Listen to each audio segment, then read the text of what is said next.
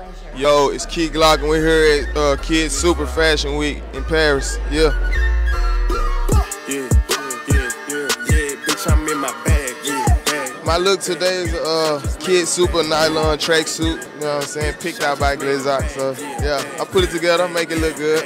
My favorite thing about the brand: different, creative, appealing.